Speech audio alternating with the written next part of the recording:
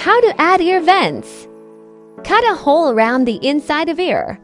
I generally keep mine between 3 to 5 inches.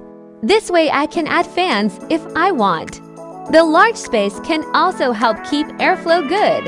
You can then hide with long pile fur or a mesh cover. Follow for more tips daily.